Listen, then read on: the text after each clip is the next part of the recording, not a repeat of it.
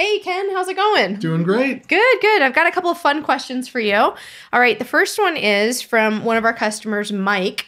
He wants to know I've used C60 in the past and I've just taken it internally. I'm wondering, what about dropping it in my eye? Has anyone had any relief from cataracts? Can I do this? Which carrier oil would be best and not burn or hurt my eye?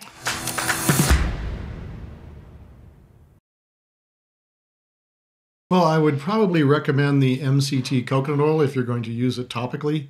It's a distillate, and it's a just various just various sixes, eights, and maybe some ten uh, carbon chain lengths, triglycerides.